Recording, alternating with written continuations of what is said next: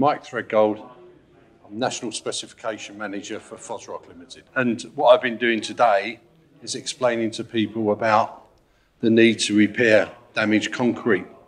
Now, concrete is a well-used product in the construction industry, but if it's not applied correctly in the first instance, it can cause defects that need repairing in new structures, but also if it's open to attack from the environment, carbonation attack, chloride attack from road salts, etc., that can penetrate the concrete and start to corrode the steel reinforcing. What we was explaining today was is what that process is and also how to repair it properly.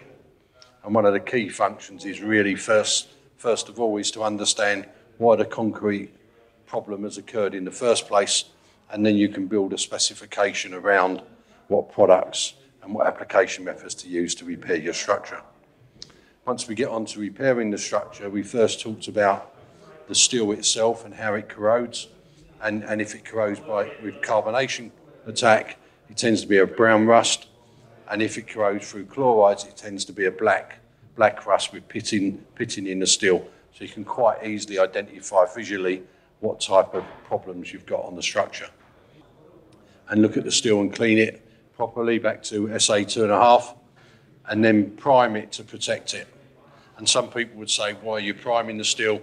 Because you don't prime it when you put new concrete in, but when you're dealing with little pockets of, of repairs, then you can set a chemical reaction up, a chemical reaction up alongside the bar that could start the corrosion appearing elsewhere. So it's key that you prime the steel correctly using the correct primer.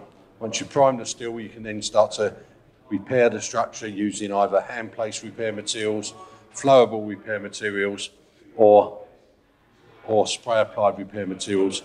And there have been demos going on today for all those three.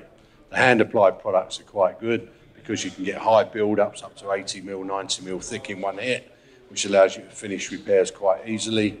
And once you finish your repairs by hand place or pouring them or, or, or spraying them, then you can look at the overall surface put a protective layer on to protect the surface imperfections using a, a fairing coat or a levelling mortar.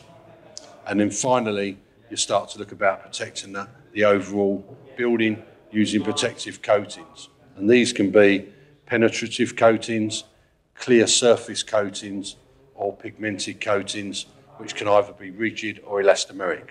The key to using these is that they allow the building still to breathe, but then, but then stop moisture and oxygen getting into the structure, which starts corrosion. The piece of resistance of the coatings is really an elastomeric coating, which is like putting an elastomeric band on your building. It, it, it, it will take future cracking in the, in the structure and stop the um, urban nasties of moisture and oxygen getting into the structure and starting the corrosion process in the concrete. And that's what we've been talking about today.